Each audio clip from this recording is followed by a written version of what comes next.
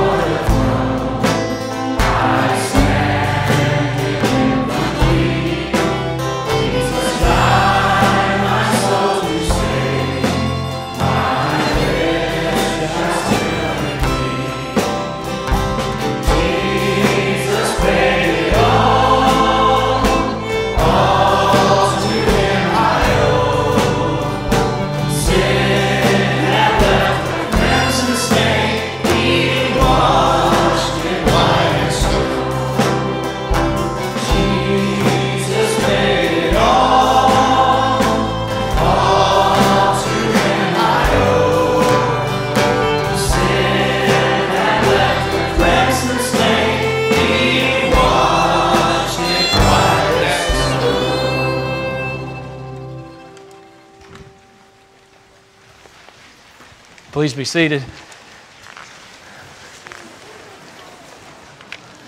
On these Sunday nights during this testimony time, we want to brag on what the Lord is doing. And tonight, Micah Harriman with Campus Outreach is going to come and talk about what the Lord is doing through that ministry and uh, in the lives of students, college students in the CSRA in particular.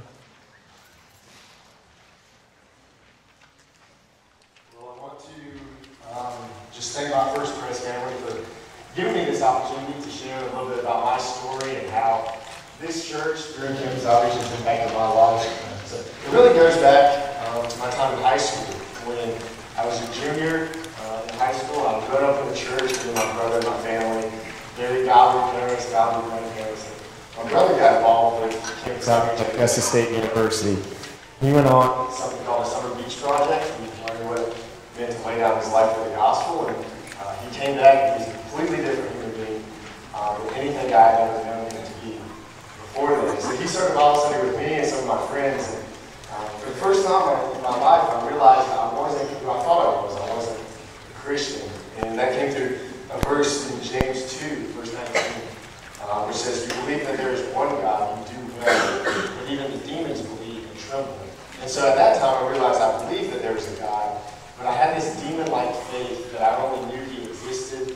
I said that I had a relationship with him, but I really didn't. And so through continued investigation, my brother walked with me every step of the way. And about a year later, uh, I gave my life to Christ um, through a verse that, that's very powerful to me. It's 2 Corinthians 5 14 and 15, which I think really describes what he did for me. It says, For the love of Christ controls us, because we have concluded this, that one has died for all, and therefore all have died. And he died for all, that those who live might no longer live for themselves, but for him who for their sake died and was raised. And since then, uh, I gave my life to Christ and I, I determined I wanted to live my life as someone that is controlled not by my will, not by uh, my passion, but by the love that Christ has for me. And I wanted to constantly come back to that to know that, that His love is what's going to motivate me um, to run my life. And so since then, I've gone on a few summer beach projects of my own. I got involved with Campus Outreach when I was a freshman in college. And probably the biggest thing that I've learned from Campus Outreach is, is just this word discipleship and this idea of making disciples and being a disciple of Christ. Probably the biggest thing that sold me on that that Campus Outreach stresses over and over is this idea of life on life discipleship, living your life with somebody to show them how Jesus lived his life. My brother did that with me for a few years. He moved back home his senior year so that we could have long rides to, to school together in the morning and he could share his faith, share the gospel with me, and, and show me what it meant to be a Christian, what it meant to, to share my life with others.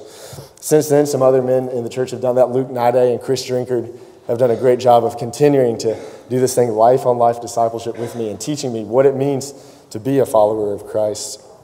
But there was one verse that really sold me on this idea of discipleship, and it's shared with me by a friend of mine named James Doolittle. It's Isaiah 49 6.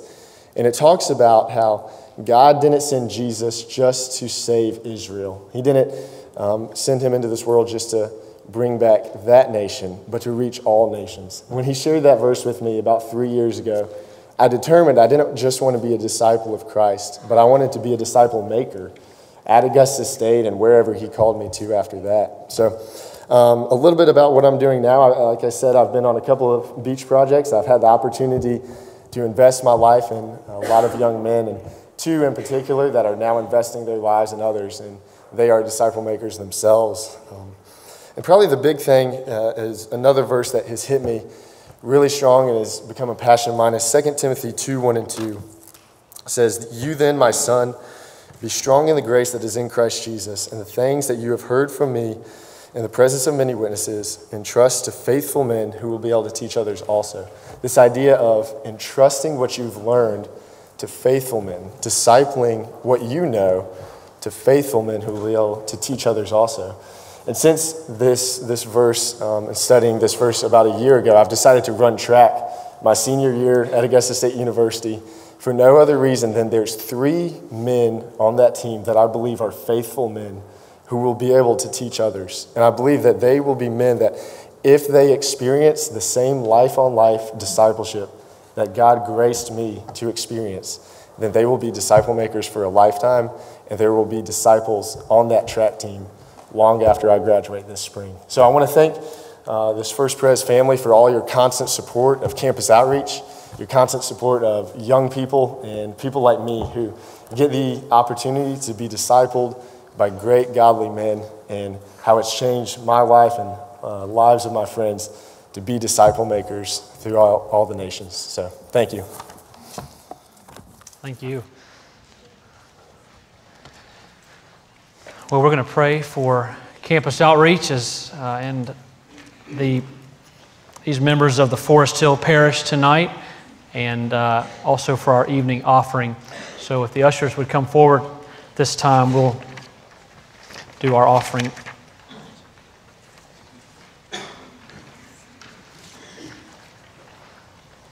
Would you pray with me?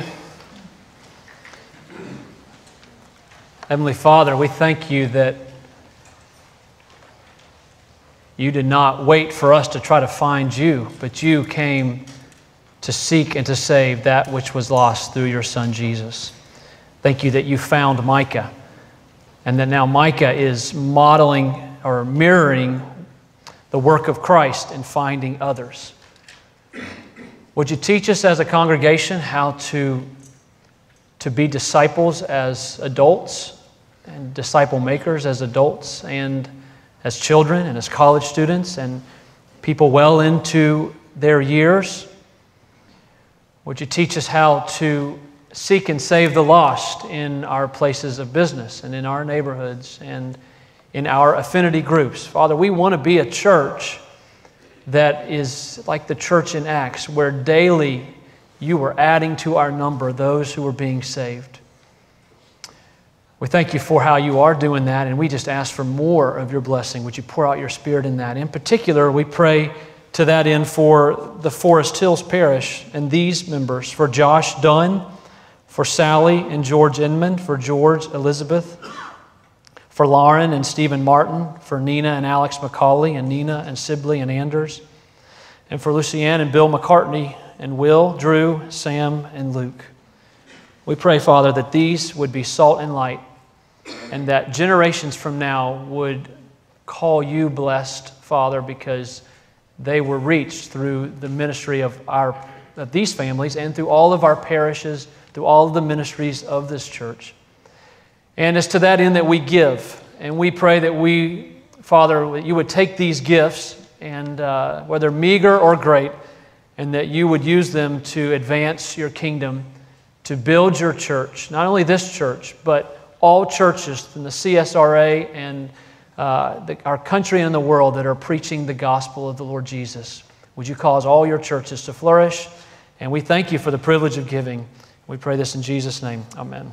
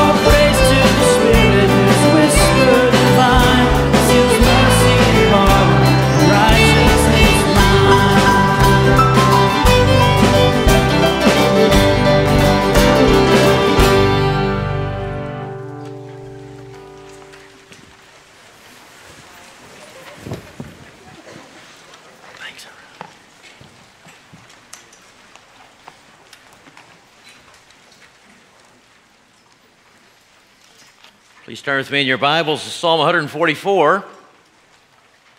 Continue our rapid march through the Psalms over the course of eight years. And uh, here we are, the 144th. Another psalm of David. And yet, you will uh, probably recognize a number of the things that are said in this psalm because there's very little of it that's original.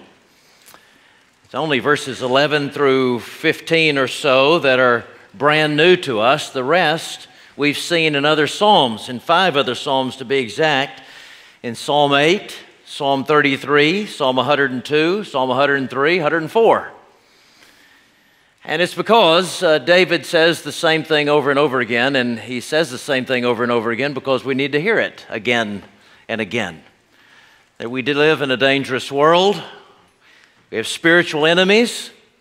Our faith fails, but God is faithful. In fact, He is perfect in His faithfulness and provides everything that we need for life and godliness. Let's read it with, with a great expectation of comfort as He writes, beginning in verse 1. Praise be to the Lord, my rock, who trains my hands for war, my fingers for battle. He is my loving God and my fortress, my stronghold and my deliverer, my shield in whom I take refuge, who subdues peoples under me. O Lord, what is man that you care for him, the Son of Man that you think of him? Man is like a breath, his days are like a fleeting shadow.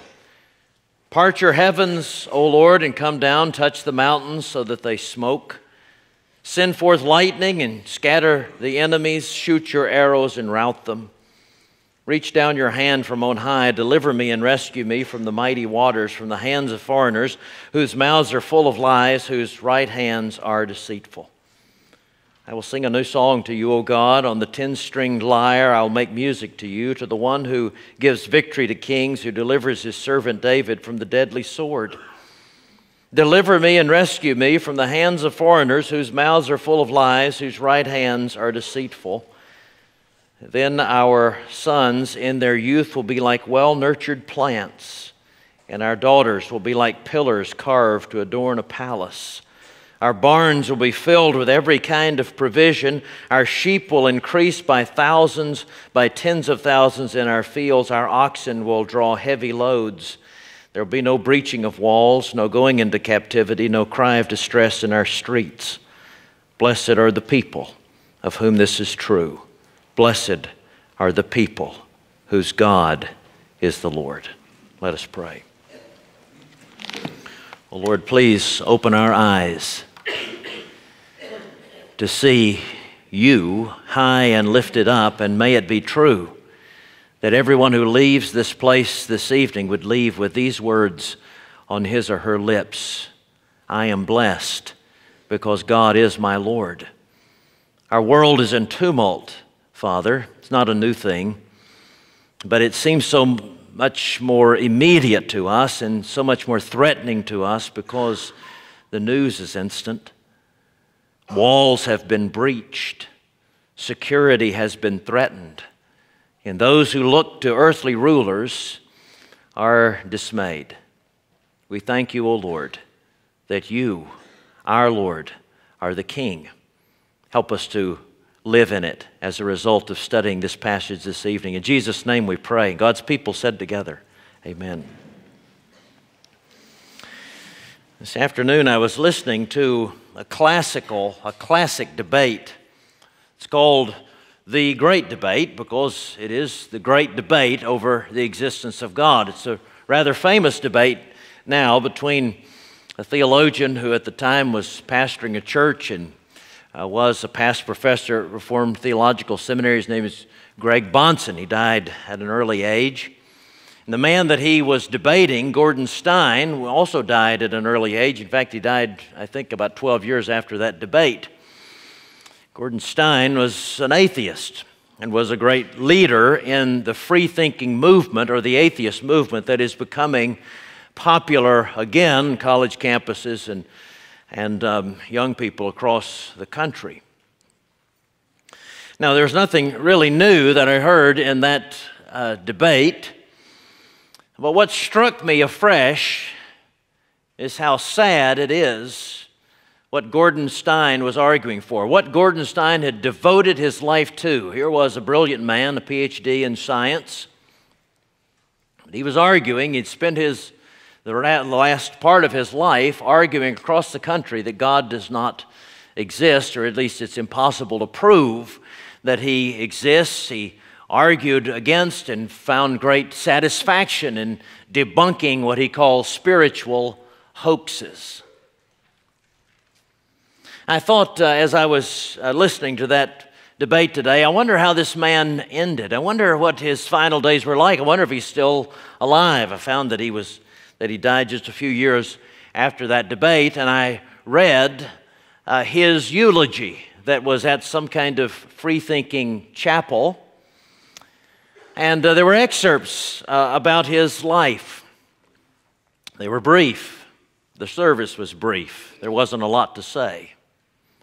Uh, they recounted his achievements, like his PhD dissertation on the uh, maternal instincts of the dolphin.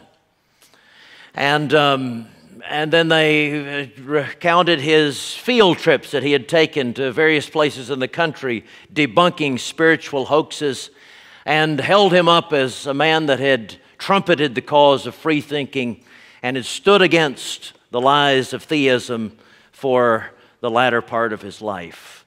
And that was the end of the service. It was terribly sad to think about a man who had given his life to the idea there is no God. And not just to the idea that there is no God, but in dismissing the possibility of God, he dismissed this God. This God, the God of the Bible, the God revealed in Jesus Christ, who provides what our hearts desperately long for. We desperately long for someone to protect us, to, for someone who is more powerful than we are, someone who loves us, to be near to us, especially in times of need and especially at the end of life. And we all, in our heart of hearts, desire to praise someone greater than ourselves, to live for something that is bigger than we are, that is bigger than our empty world. Gordon Stein faced the last days of his cancer without any of these comforts. No idea of a protector, no idea of someone, a God, a gracious God who could be with him, and no idea, or at least the denial of the idea, that there was someone greater than himself to praise.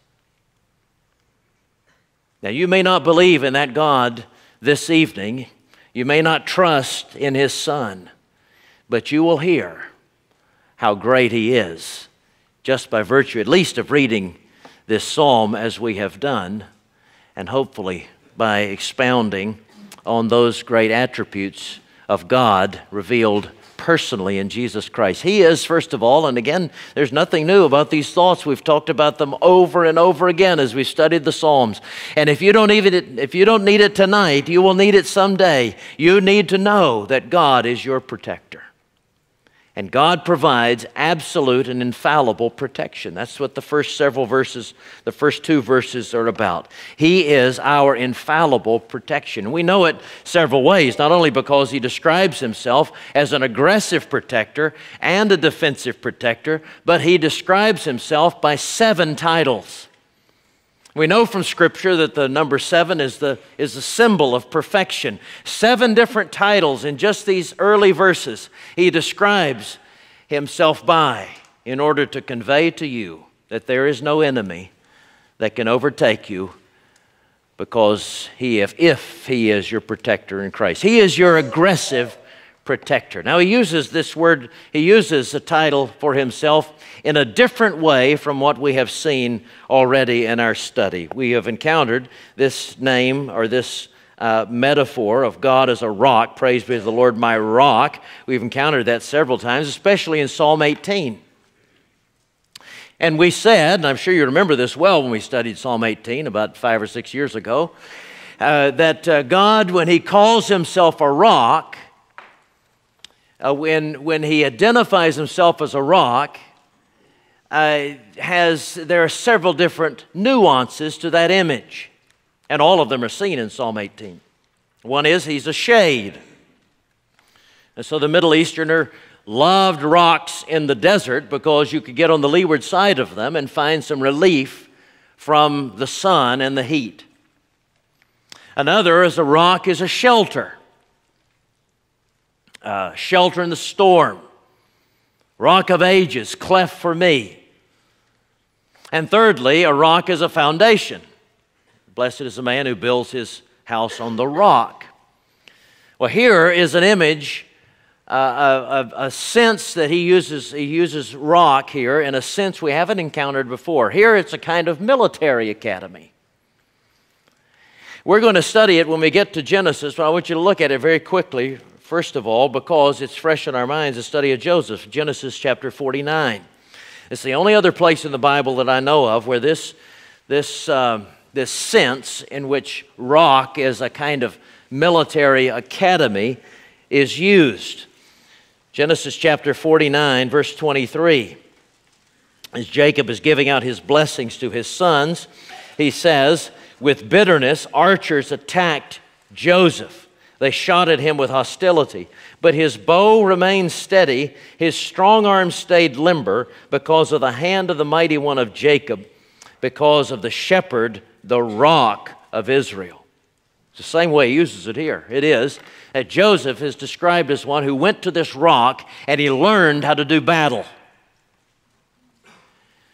He said uh, they shot arrows of bitterness at Joseph. We've encountered those arrows of bitterness, haven't we? The, the betrayal and the, and the persecution of his brothers, the, the injustice he ex- experienced in Egypt.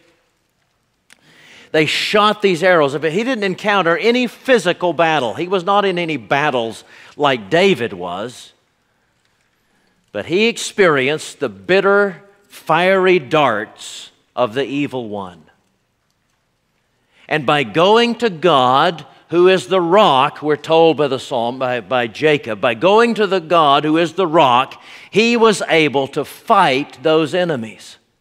David says, Here's the same thing I've experienced from you. You have trained me. By constantly going to you, by constantly returning to you as the rock of my life, I have learned how to defend myself against bitter enemies. I have not become bitter because I've kept my eyes on you. God is the aggressive warrior who trains your hands for battles. But He is also your defensive warrior. See in verse 2. He is my loving God and my fortress, my stronghold, my deliverer, my shield in whom I take refuge, who subdues peoples under me. Now, you remember last week we were studying Psalm 143, and we said in, these, in, those, uh, in that first verse of Psalm 143 are three stars of the covenantal constellation. That those three attributes of God, His mercy, His faithfulness, and His righteousness, describe the essence of who he, who he is, and everything in those attributes provides everything that you need. Now, two of those attributes are mentioned here. He is my love, he says literally, or He is my mercy, and He is my shield, which is to say, He is my shield of faithfulness. He is my love. He is the one who loves me, and He cannot love me. He cannot love me any more, He cannot love me any less because He loves me perfectly in Christ. No one can add to my life. No one can detract from my life. I am completely filled up by the love of God in Christ. He is my love. He is my shield, the shield of my faithfulness. Remember, we talked about the, the armor of God in Ephesians 6, and that the armor is the armor of God that is applied to you.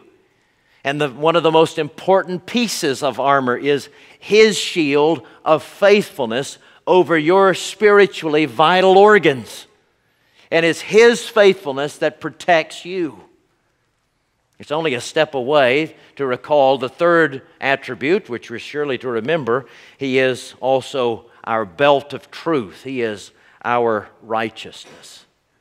God is your aggressive protector, He is your defensive protector. He provides for you love and faithfulness and truth. No one, you will live in an impregnable spiritual fortress. No one can destroy you. Even if they kill your body, you will live forever because you live in Christ who is covenantally faithful. I was uh, struck a number of years ago when I was preaching on this psalm. And a dear old saint in the congregation I came from, Covenant Church, uh, a woman who probably had much of the Bible memorized, she walked very closely with the Lord. And uh, I felt like when I would look at uh, people like her, I would think, what in the world? What in the world am I contributing to her spirituality. She knows the Lord more greatly than I will ever know him, but we just kept plowing through the Word. We were preaching, I was, I was uh, preaching uh, the Psalms uh, at the time, and we came to Psalm 144, and she had just been diagnosed with cancer, and they said, You don't have very long to live, there's no treatment for this cancer, and uh, you will die in a matter of months. And she came up to me after studying this very psalm and making points similar to this about these attributes of God. And she said, You know, it's studying the Psalms. It's in studying the Psalms that I've been prepared to die. I'm prepared for this cancer. Now, I'm sure there were days when she thought, This isn't really relevant to me. I couldn't be happier. My children walk with the Lord, my, my grandchildren walk with the Lord, um, happily married. Uh, I have uh, meaningful uh, service to perform. What, what, could, what could there possibly be? What application could there be for me in this psalm? But as she stored up these truths through the months and years, she was ready for that last battle. Are you? You can't be ready on your own. You can only be ready as you are able to say, I am blessed because God is the Lord and He is infinitely great. He is true. He is faithful. He is my righteousness. He is my love. He's your protector. Not only is he your protector, He is with you. If Christ is your Savior, He is not only your protector, He is with you. Now, He makes this point to us not just in this psalm, but in the course of psalms that we are studying at this section of the Psalter. We've been building up to this point. Here in Psalms 144 through 147, he will uh, the psalmist will show us the, the inadequacy of man, that you are inadequate to face the spiritual and physical and emotional enemies that lie ahead of you. You do not have the resources to face them on your own. Uh, but he has only come to this point of showing us our insufficiency after showing us the all sufficiency of God. Now, let me just recall them to you very quickly. In Psalm 135, we understood that God is our warrior. Psalm 136, His love is enduring. Psalm 138, He remembers us. 139, He never leaves us. 140, He is strong. 141, He delivers us. And 142, we saw that He is faithful and righteous and true. And against that bright backdrop of God's all sufficiency, now the psalmist begins to say, Now here is how inadequate you are. You have no strength in your own of your own to face your enemies. Now that is humbling and it's daunting. But when you are so humbled, and only when you are so humbled will you become strong and confident. Look at how the psalmist describes it very tenderly in verses 5 through 8. He says, Part your heavens, O Lord, and come down, touch the mountains so that they smoke. Here is this one whom God has said has no strength. You have no adequacy in and of yourself. This one, this speck of dust, turns to God and says, Part those heavens and come down and help me. How can he make such a bold request? Because he knows the attributes of his God. He knows that God has effectively welcomed that kind of request. I want you to ask me that. Because I am your love, I want you to ask me to part the heavens and move heaven and earth to come and help you. He goes on, verse 6 Send forth lightning and scatter the enemies. Shoot your arrows, rout them, reach down your hand from on high. Deliver me and rescue me from the mighty waters, from the hands of foreigners whose mouths are, whose mouths are full of lies, whose right hands are deceitful. What is your enemy tonight? Who is it? What is it? What do you think is insurmountable? What is eating your spiritual lunch? What has you so discouraged? What is your besetting sin? Why do you endure with it as an enemy, as a discouragement? Is it because you have forgotten that God has said, I am your love? Call to me. I'll part the heavens and come and be with you. I am with you, even to the end of the age. It is the Emmanuel principle of Scripture that God is with us. He proves it in Jesus Christ. John G. Paton, I've mentioned to you on numerous occasions, a great missionary, heroic missionary to the New Hebrides, um, uh, now uh, Vanuatu. And uh, went the, at the time he went there, there were cannibals and headhunters, and now there's a very vibrant church in Vanuatu. In fact, the, the, um, the history of the, the spread of the gospel in that country is very interesting and very dramatic. You may want to look it up sometime. But John Paton went there without any help, without any other person, without any other uh, spiritual encourager. He went there on his own to lead people to Christ, not knowing if he would ever live or come back to his native Scotland. And while he was there, he lost his wife and his child. He buried them with his own hands and had his own service. He said, During the crisis, I felt generally calm and firm of soul, standing erect and with my whole weight on the promise Lo, I am with you always. Precious promise. How often I adore Jesus for it and rejoice in it. Blessed be his name. He wrote that in his journal after he had buried his wife and his child.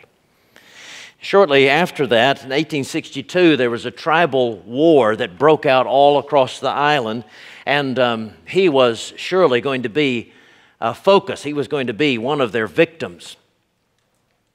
But a friendly chief named Nowar uh, hid him in a chestnut tree, put him up in the thick foliage of it, and he said, Remain here, don't move, you stay here. And all night long, uh, the tribal warriors were hacking around that tree, hacking through the foliage in the middle of the night, trying to find uh, John Paton in particular. He was terrified as he waited there through the night. This is what he had to say. I often felt my brain reeling, my sight coming and going. You know how that is. You're so scared, your sight goes in and out. My sight coming and going, my knees smiting together when, the, when thus brought face to face with a violent death. Still, I was never left without hearing that promise coming up through the darkness and the anguish and all its consoling and supporting power. What was that promise? Lo, I am with you always. God, through Christ, is your protector. God, through Christ, is the one who is with you at all times in every situation. And God, through Christ, is the only one, therefore, who is praiseworthy. The only one who is significantly bigger than you, than the emptiness of your life, the emptiness of this world, the one, the only one who is, who is so praiseworthy that people have been willing to die for him through the ages. Uh, the psalmist says, David says in verse 9, I will sing a new song to you, O God, on the ten stringed lyre.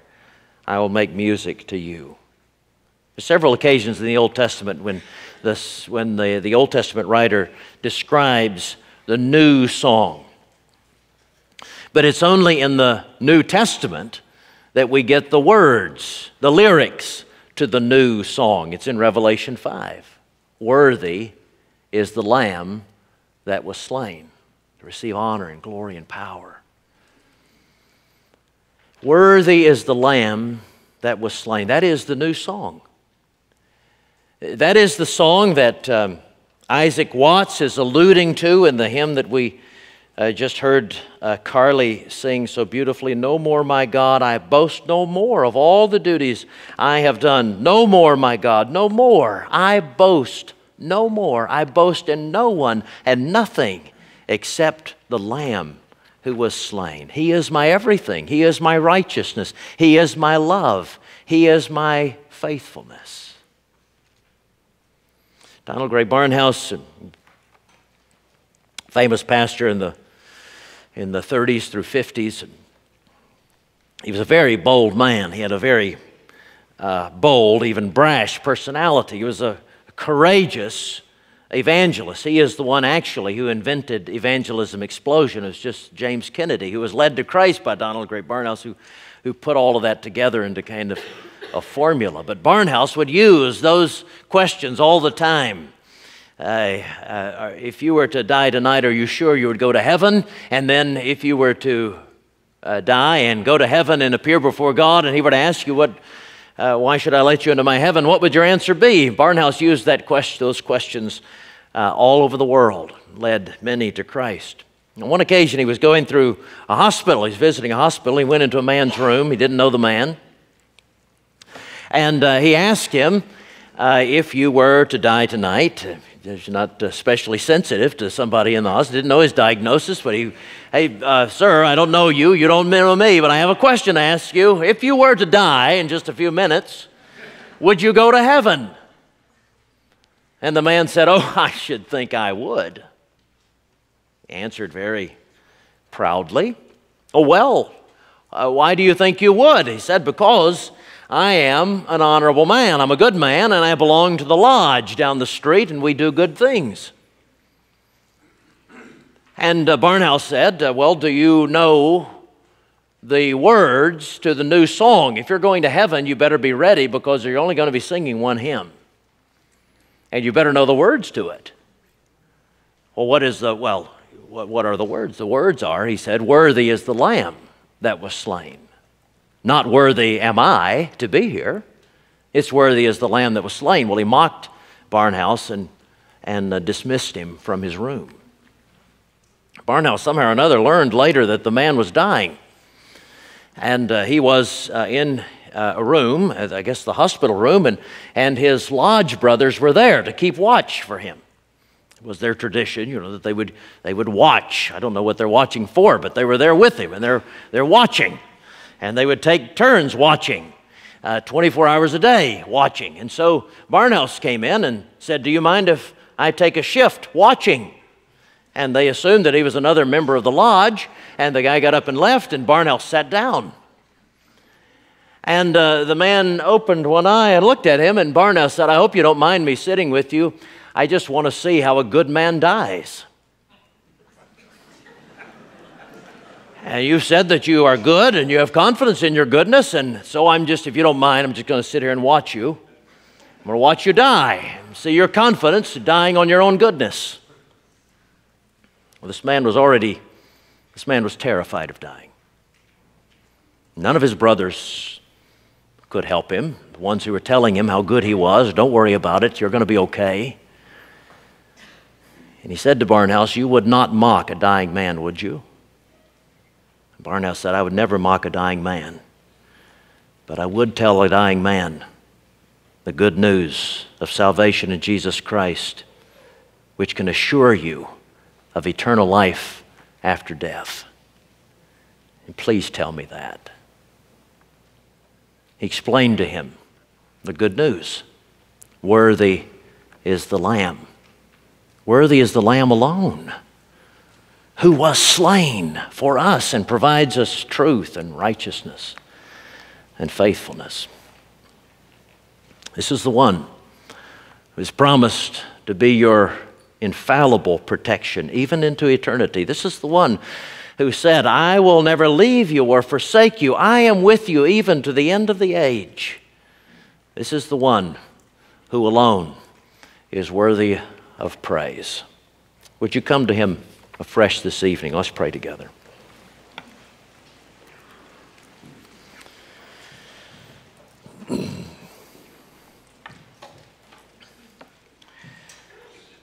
Lord, the psalmist says, in a section I didn't even get to, the psalmist says that there are all kinds of blessings that a Christian receives in this life. He knows the happiness of family and the joy of meaningful work.